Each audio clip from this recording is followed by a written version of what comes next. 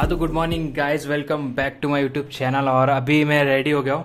और आज बहुत सारे काम करने हैं। पंखा लगाना है पहला।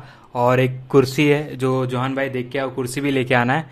तो ऐसे है बहुत सारे काम जो आज करने हैं। और एक छोटी सी मीटिंग है, वो भी अटेंड करना है। तो गाइज़ अभी व्लॉग स्टार्ट करते हैं। पहला पंखा लेकर दे पंखा मैंने डिसाइड किया व्हाइट कलर का क्योंकि सब वाइट ही वाइट है। यहाँ पे कुछ है नहीं। तो ऊपर पंखा लगाएँगे। और क्योंकि ये वाला जो यहाँ पे पंखा लगा था, वो मैंने निकाल दिया। अभी ऊपर पंखा लगाएँगे। तो गाइस चलते पहले पंखा लेके आते हैं और पंखा लगाते हैं और फिर उसके बाद कुर्सी भी लाने आना है। तो चलते गए फटाफट।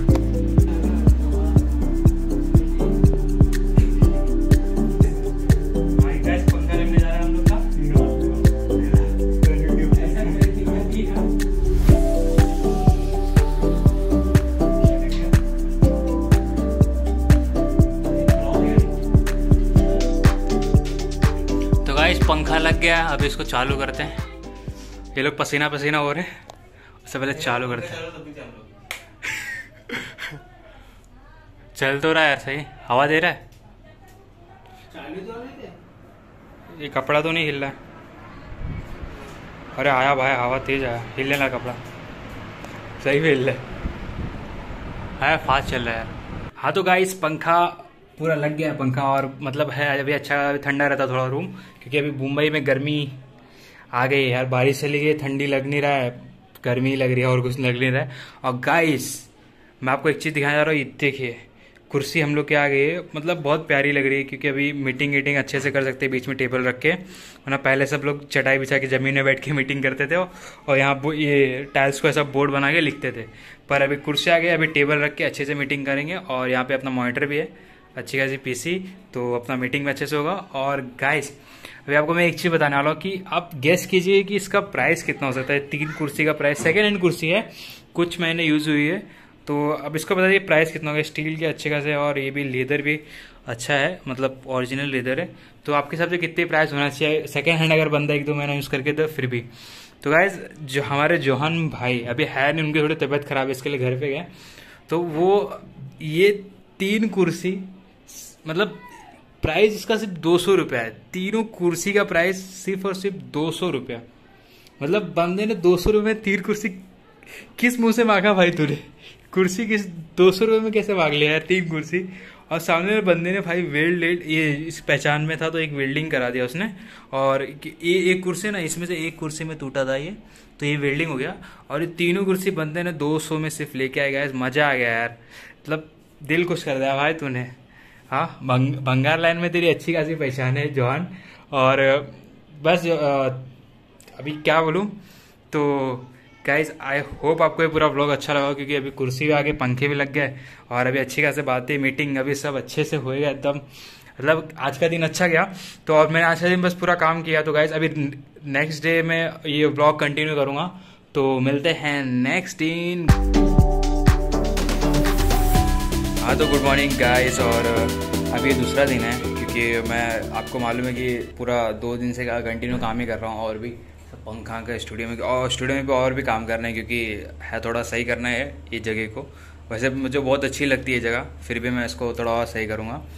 और गाइज़ अभी मैं जा रहा हूँ एक जगह अंधेरी में पापा के साथ, और वहाँ पे काम है करेंगे, और आज वाला एग्ज़ाम भी यार एग्ज़ाम भी देना है, क्या करें स्टूडेंट लाइफ तो आज एग्ज़ाम भी देंगे और साथ में थोड़ा कुछ काम है वो करेंगे और फिर रिटर्न आएँगे। क्योंकि यहाँ पे भी बहुत सारे, क्योंकि मुझे अपनी वेबसाइट भी रेडी करनी है। तो वेबसाइट पे भी काम करना और कॉलेज का एग्ज़ाम तो यार, क्या करें। तो चलते और गए जहाँ मैं जा रहा हूँ, उसके बाजू में एक होटल है अच्छी खासी। वहाँ पे ना मैं बहुत मतलब जो बड़े बड़े यूट्यूबर्स हैं, उनसे मिला हूँ।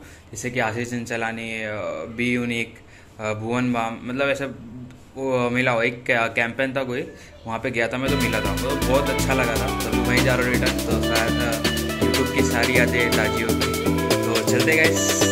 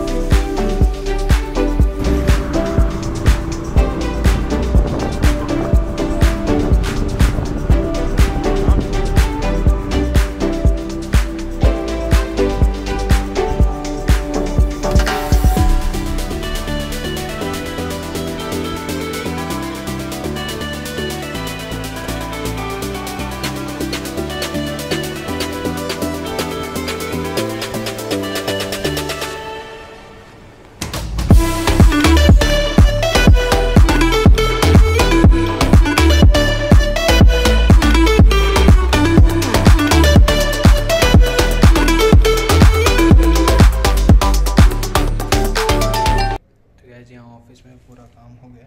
तो अभी यहाँ से निकलते फटाफट घर जाते हैं।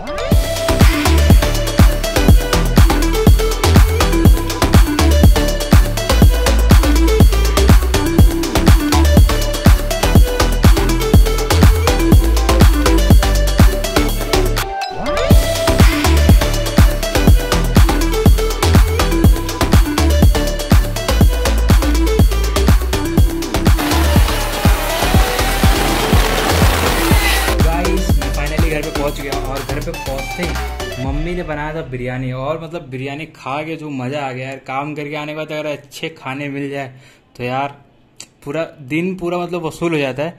तो वही दिन पूरा वसूल हो गया, मेरा अच्छा खासा और अभी आ रही नींद, खा के फुल बिरयानी मज़ा आ गया। तो गाइस आई होप आपको ये पूरा मेरा दो दिन का ब्लॉग अच्छा लगा होगा, क्योंकि मैंने सोचा एक दिन का नहीं, दो दिन का ब्लॉग बना दो क्योंकि मैं एक दिन में कुछ करता ही नहीं, खाली कुर्सी पे बैठे बैठे काम करता हूँ यार। मतलब उसमें क्या कंटेंट बनाओ तो मैं अभी प्लान कर रहा हूँ कहीं जाने का ट्रैवलिंग का और जो हम लोग के जितने भी क्लाइंट्स जो लोग वो लोग जो काम करते हैं ना, वो लोग काम दिखाने का, क्योंकि इससे मतलब नॉलेज बढ़ेगी मार्केट में। इसके लिए मैं भी ये सब भी करने वाला हूँ।